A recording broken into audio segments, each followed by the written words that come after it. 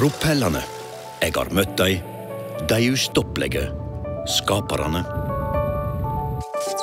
Stine Aasland. Jeg har funnet en jeg har veldig lyst til å snakke med, men jeg vet ikke om jeg tør.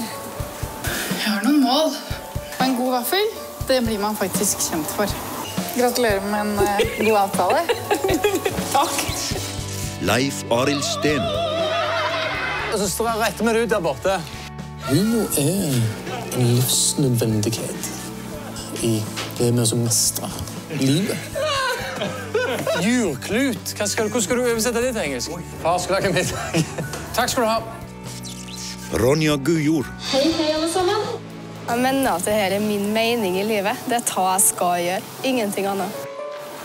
Today the monter. Thank you. De ustoppelige. De jakter drømmer. De tar risiko. Inge Halstensen. Nå er det et eh, crucial moment. One, altså, må vi være forberedt på skuffelser. Da blir vi lei oss, og når det er bra, så blir vi veldig begeistra.